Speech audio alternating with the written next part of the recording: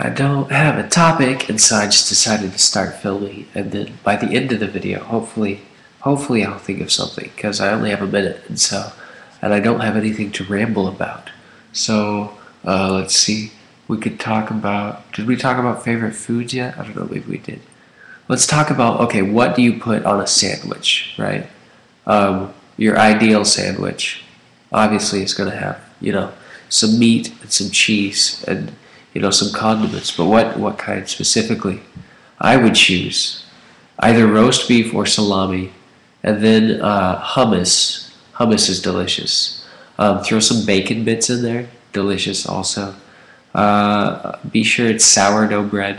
Uh, cut it in half, and, and I don't know about the hummus. I'm second guessing myself on the hummus. I don't know. That could have been a bad decision. But uh, yeah, maybe I'll, I'll think about. I'll get back to you guys. See you tomorrow, Amanda.